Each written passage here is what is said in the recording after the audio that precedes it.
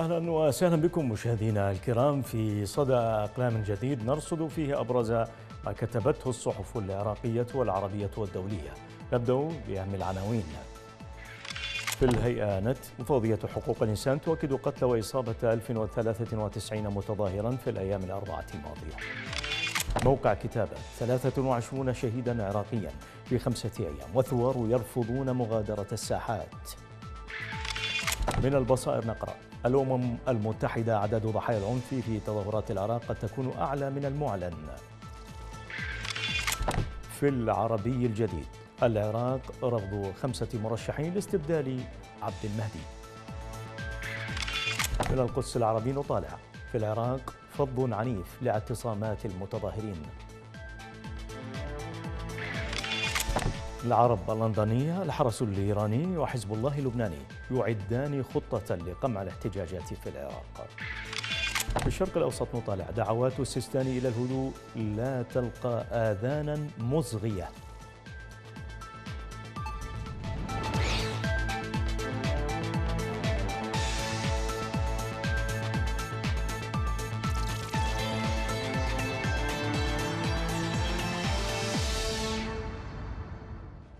الثورة تصنع إنسانها في لبنان والعراق. مقال للكاتب برهان غليون في صحيفة العربي الجديد جاء فيه أن من الواضح لكل ذي نظر أن الشعوب العربية أي الأجيال الشابة التي تتقدم ثوراتها قد دخلت في حقبة جديدة.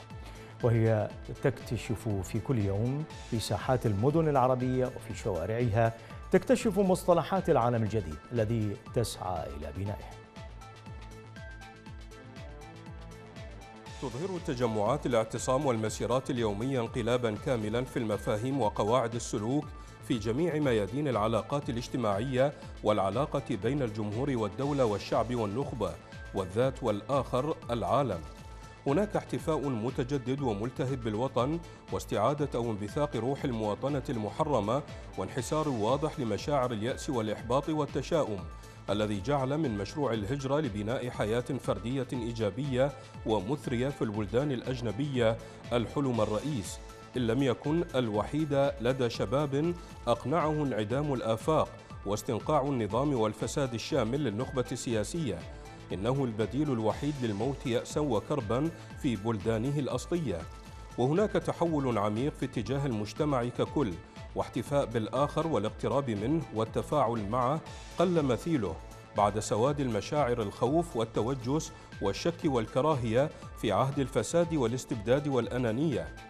لم تعد الثورة منهجا للتغيير وقلب الطاولة على الطبقات الحاكمة أو الطبقات السياسية بأكملها وإنما أصبحت في العالم العربي وفي لبنان والعراق اليوم كما هي في الجزائر والسودان ومن قبل في سوريا واليمن وتونس مصهرا يمتزج فيه ويختلق تحت درجة حرارة عالية شعب جديد أي شعب موحد وقوة مستقلة وفاعلة على الأرض وصانعة للحدث.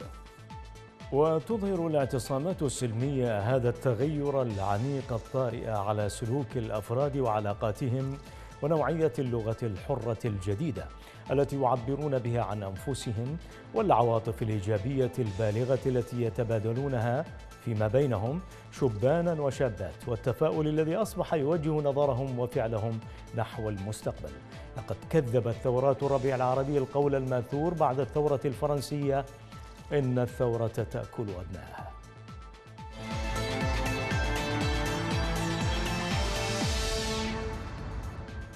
ليس من نهاية قريبة لمحنة العراق.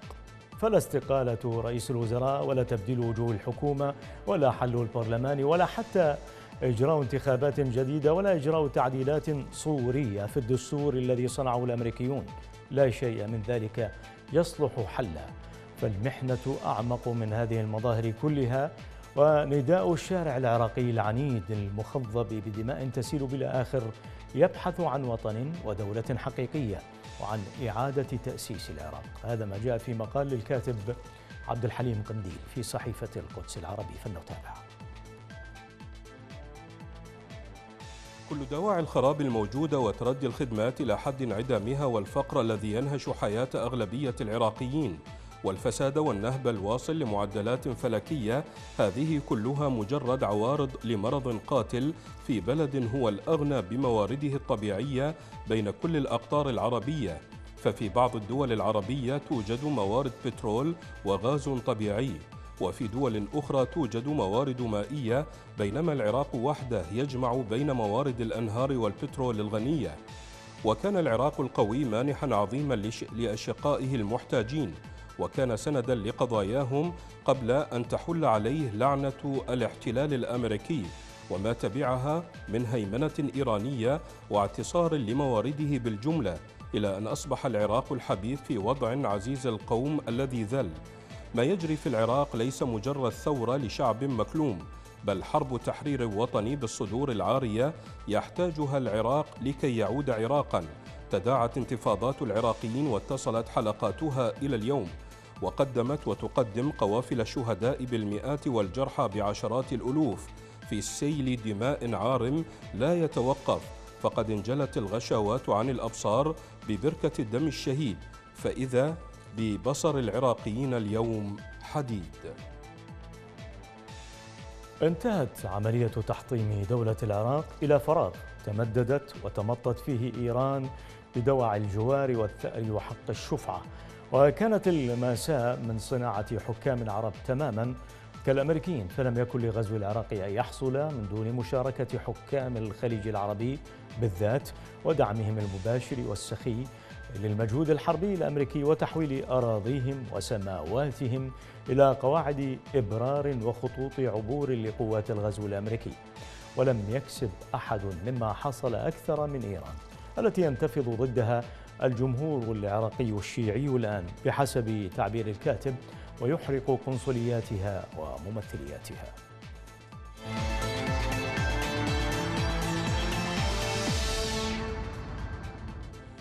من حسن حظ الشعب العراقي أن يكون المرشد الأعلى الإيراني ومساعدوه ومستشاروه بهذه الدرجة من الجهالة والعدوانية والدموية والفساد والغرور والحماقة وقلة التقدير وسوء التدبير. إذا عن إخفاق إيران في العراق كتب إبراهيم الزبيدي في صحيفة العرب اللندنية فلو كانوا ذوي فطنة ونباهة ونظر بعيد ورأي سديد لعمروا محافظات الوسط والجنوب إن لم يريدوا إعمار باقي محافظات العراق الأخرى. ولجعلوا كل واحدة من مدنها آية في الرخاء والازدهار ولأنشأوا المستشفيات الحديثة المتقدمة وعدلوا وأنصفوا ومنعوا الظلم والفساد واعتمدوا على وكلاء شرفاء نزيهين مخلصين لأبناء طائفتهم. ولأدى ذلك إلى تمسك العراقيين بهم وحرصهم على استمرار احتلالهم عشرات قادمة من السنين أو ربما من القرون. ولتحققت إمبراطوريتهم الجديدة التي فاخر بها علي يونسي قبل سنوات. فبسبب سياساتهم العدوانية الاستفزازية التسلطية التي مارسوها ضد الشعب العراقي وخاصة ضد أبناء طائفتهم سرعان ما افتضحوا وأصبحوا مكروهين. وبالتالي وبالضرورة أيضا افتضح من يأتمرون بأمرهم ويقومون بتنفيذ سياساتهم العدوانية الاستفزازية التسلطية. وصاروا مكروهين أيضا وممجوجين مثلهم. وهدفا مشروعا لثورة شعبية عراقية قادمة لا تبقي ولا تذر فتغسل عهرهم وتعيد وطنها سالما ومعافى وبأحسن حال. وهم حتى بعد هذا الانفجار الشعبي النادر الذي زلزل الأرض من تحت أقدامهم ما زالوا في نفس غبائهم وحماقاتهم وغرورهم يعمهون. ها هم الإيرانيون يكابرون ويصرون على مواجهة الطوفان بمزيد من الإثم والعدوان ومزيد من إراقة الدماء لتكون نهايتهم أكثر وبالا وخزيا وعارا ومهانة وليصبح خروجهم من العراق ومن باقي المنطقة بلا عودة وإلى أبد الآبدين.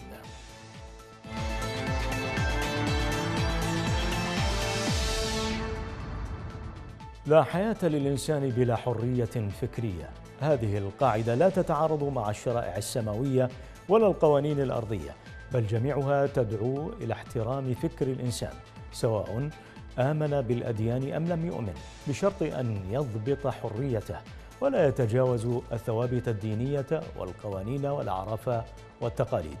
هذا ما جاء في مقال للكاتب جاسم الشمري.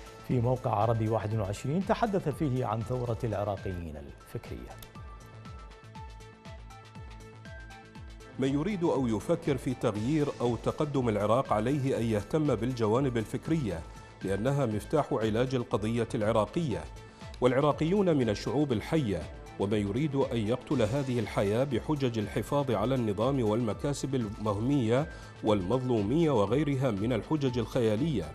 فهؤلاء لا يريدون بناء الوطن والإنسان وإنما هم تجار دين وحروب وأزمات هدفهم استمرار خراب الوطن وسحق الإنسان لتستمر بذلك مصالحهم القادمة على هذه الأسس التي لا تتفق مع الأديان والمنطق والضمائر الحية.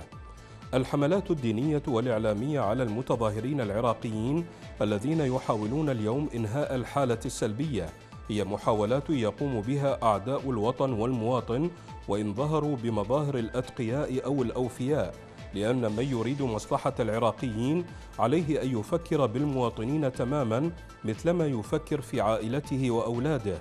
أما أنه يخاطب الناس بخطاب تخديري وعائلته وأهله وكل من حوله يعيشون في عوالم مترفة ومنعمة فهذا خطاب مزيف الخطاب المزيف.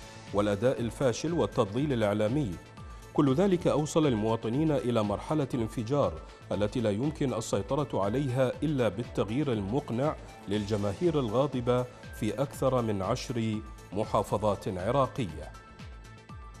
إذا حرية الإنسان العراقي واحترام فكره هي اللبنة البارزة في مشروع التغيير وبناء الوطن والمواطن. ومن دونهما سنبقى ندور في دوامة الضياع والخراب. التي لا ندري متى سنخرج منها. ولذا فإن ثورة العراقيين اليوم ماضية ولن تتوقف إلا بغد جديد. يعيد للوطن مكانته في العالم وللمواطن حقوقه المسلوبة من الغرباء.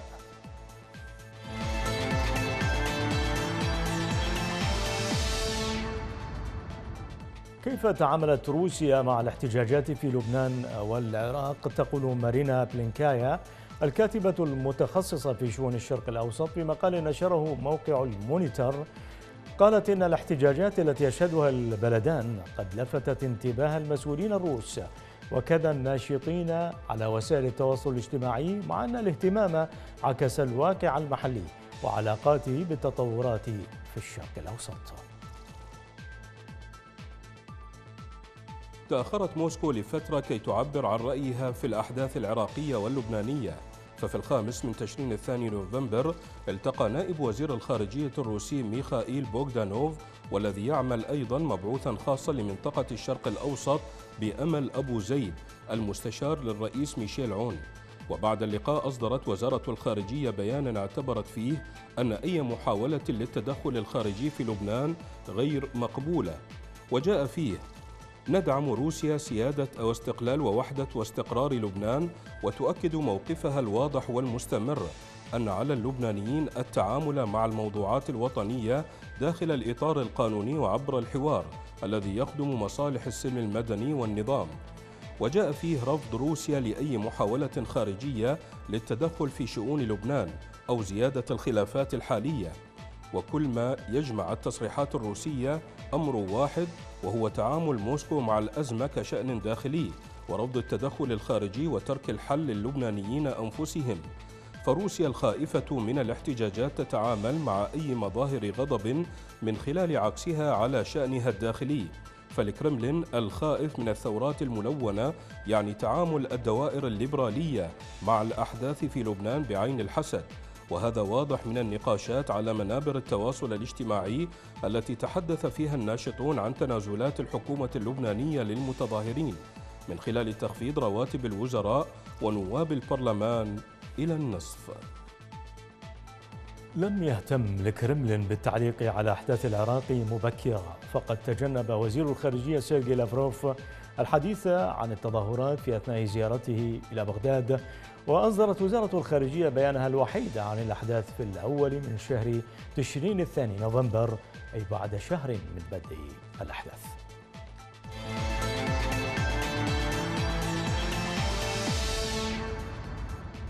لا يحتاج الكيان الصهيوني إلى إذن من أحد لتوسيع استيطانه في الضفة الغربية فهو يفعل ذلك في كل وقت وحين. مشروع تلفريك الذي أقرته سلطات الاحتلال منذ أقل من عام هو واحد من المشروعات التي تسعى إلى تهويد القدس المحتلة والربط بين شرقها وغربها. إذ هناك من يطبلون ويسوقون لفكرة أن المشروع سياحي ويهدف إلى تعظيم الأرباح واستقطاب مزيد من السياح. هذا ما جاء في مقال للكاتب طلال عوكل في صحيفة الأيام الفلسطينية. لا يقتصر الفعل الإسرائيلي على إقامة تلفريك في السماء فحسب بل هناك خطط تتعلق بتوسيع محطات الترام وجعلها تصل بين القدس ومستوطنات غوش عطسيون في الجنوب. وكذلك فتح المدينة المحتلة على الساحل بشبكة قطارات حديدية. خطورة هذا المشروع تتعلق بتزييف وعي الزوار والسياح حول المكانة التاريخية والخصوصية المقدسية للمدينة المحتلة. ذلك أن التقارير الصحفية تفيد بأن خط التلفريك لن يمر على المعالم الإسلامية أو أنه سيشوه تاريخيتها على حساب تسويق الرواية الإسرائيلية للأماكن المقدسة. كل هذا يأتي ضمن مشروع الأكبر مشروع ترسيخ القدس عاصمة أبدية لإسرائيل وتحويلها إلى منطقة جذب سياحي وعنوان رئيسي لنشاط وحركة الإسرائيليين من وإلى العديد من المدن المحتلة. وهذا يدفع الدولة العبرية لتسريع جهود تهويد القدس الشرقية وضمها إلى الغربية. لن تكتفي إسرائيل بالنيل من القدس الشرقية بل ستعمل على ربط القدس المحتلة بالمستوطنات المنتشرة في الضفة الغربية وهي تدعم خطط إحلال المستوطنين محل المقدسيين والاستفادة من الأراضي المسروقة في مشروعات سكنية توطنهم لتمكن وجودهم فيها. إذا كان من بد لإنقاذ ما يمكن إنقاذه من عجلة التهويد الصهيوني للقدس المحتلة فإن على الفلسطينيين أن يدركوا أن هذه المعركة هي معركتهم أولا وأن الأولوية تكمن في توحيد طاقاتهم وتوجيهها ضد الاحتلال الصهيوني.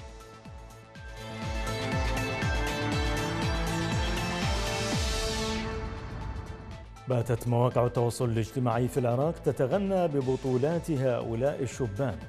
والأكثر إدهاشا أن هذه الفئة من الشبان عدها كثيرون رمزا للثورة والوطن لطالما عانى شبان عراقيون من نظرة سيئة تجاههم من نسبة كبيرة من المجتمع.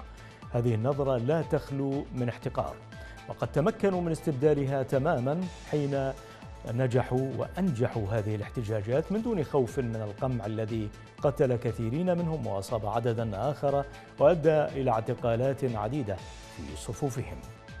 كل ذلك جعلهم محط أنظار الجميع بل مصدر فخر لدى أولئك الذين كانوا يحتقرونهم بالذات فهؤلاء الشبان لم تكن تتوقع شريحة واسعة من المجتمع العراقي منهم شيئا. ولطالما عايرتهم بالاهتمام بقصات الشعر الغريبة فحسب وارتداء السراويل الممزقة ونقش الوشوم على مناطق ظاهرة من أجسادهم والالتهاء المطلق بالألعاب الإلكترونية وغيرها. مع ذلك باتوا اليوم خارج كل التوقعات باتوا رموزا يفتخر بها كثيرون. شباب البوبجي أثبتوا أنهم أكثر وطنية من غيرهم. ولن نزايد على رجولتهم وشجاعتهم ووطنيتهم. بعد اليوم يطلق العراقيون تسمية شباب البوبجي على هذا الجيل نسبة إلى لعبة, لعبة بوبجي الشهيرة آه، في الهواتف الذكية. إذ بات كثير من الشبان لا يلقون بالا لأي أحداث وينقطعون عن العالم لممارسة هذه اللعبة.